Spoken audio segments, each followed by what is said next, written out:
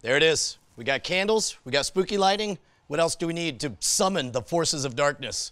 We need a board game from Hasbro. The Modern Rogue meets the mystifying oracle. How does this go from a genuinely haunted talisman to a board game? well, the first written record of what they called planchette talking or spirit boards or talking boards was in 1100 AD in China. There's record of it being used all over the world in Rome and Greece and so forth. But in 1890, in the rise of spiritualism in the United States, it was patented by William Fuld and Elijah Bond. Now, this is back when everyone had talking to dead people fever.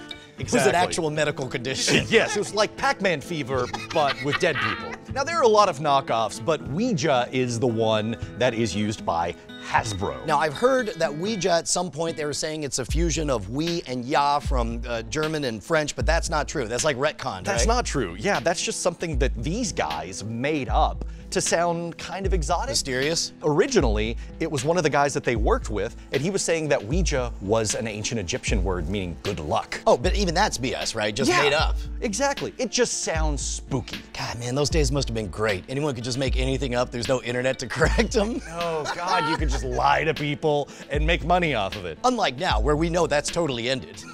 oh, yeah, oh yeah. All right, look, we got someone. What are we gonna ask? What are we gonna ask? Oh, I, I didn't read the rule book. Should we read the rules? Yeah, oh, wait, yeah, what are the rules? Are there rules? For decades, players have brought their questions to the Ouija board. What you do with the information it reveals is between you and the mystifying oracle. Man, those are some carefully selected words. Yes. and then the tagline Ouija, it's only a game. Isn't it? Monopoly, it's a quick game. Is Isn't it? I'd always heard when you were a kid that like you never use it alone. You always have to do a figure eight. We built up this mythology as kids. Let's do a real quick thing. Okay, All right, okay. all right. Uh, hands on all the way. Is YouTube's content ID policy a pain in the ass? You're pushing it. I'm not. I know you are. I'm not. I'm barely What- touching what are you it. talking about? I'm barely touching it. You're pushing it. no, I'm not. I swear.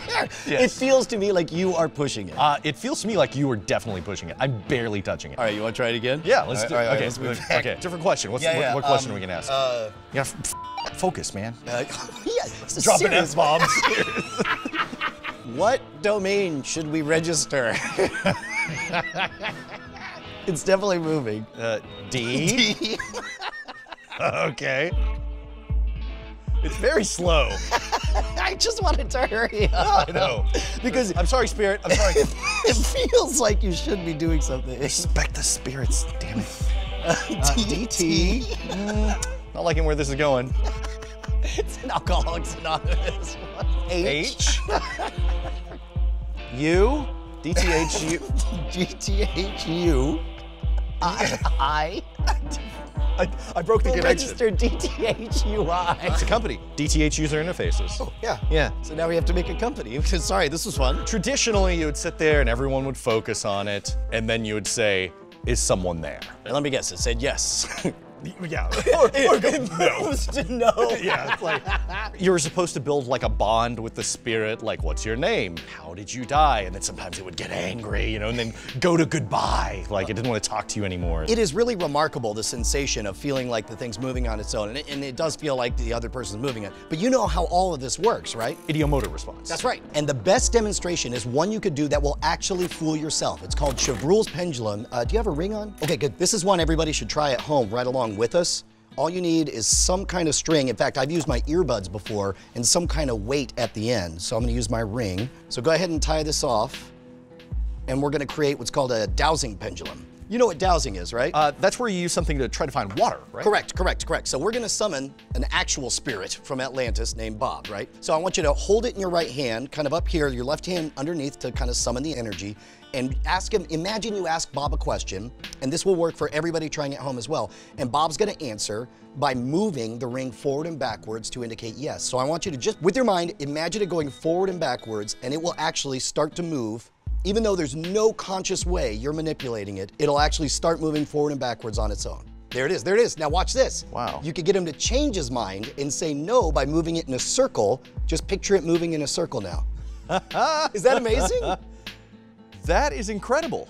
So the way this works is the ideomotor response is all those tiny micromuscular movements that we don't consciously know that we're making. But when we imagine something, you eventually make those movements in accordance with it. You kind of set up a resonance where all those little movements kind of tie together to cause it to move the way you imagine. This is what all forms of dowsing boil down to, is dowsing shows you what you expect to see. You're picturing something right about here, and then of course the ideomotor response takes over. So when everybody puts it on here, this is super slidey, right? You got these, these felt things on here. So as a result, it takes virtually nothing to move it around. And so when everybody puts it down, we all expect it to go to yes. We're all having those tiny micromuscular movements, and then eventually this, this kind of consensus happens, and we all move to yes. It's kind of a snowball effect. So when you see it heading in a certain direction, It reinforces, the reinforces it. idea. In fact, it could get so big, this is what causes table tipping. You remember the end of that movie, The Others, when they're the ghosts getting mad and is throwing the table around? That's something that would happen during seances. Everybody would put their hands on the table and no one person realizes that they're moving around, but as it starts to jostle, everybody's trying to stop it, and by trying to stop it, they're knocking over candles and creating a health hazard. let's see if we can get a third host on here, a ghost host. Ghost host? The ghost All right, host. wait, we gotta find out the name of the ghost. Better not be Okay. DTHUI. yeah, let's see. Okay, is someone there? God, it really feels like it's moving on its own. Uh, yeah, I'm barely touching it. Leave your hands floating there. It's like a cartoon. Like It's like he just ran away with the book.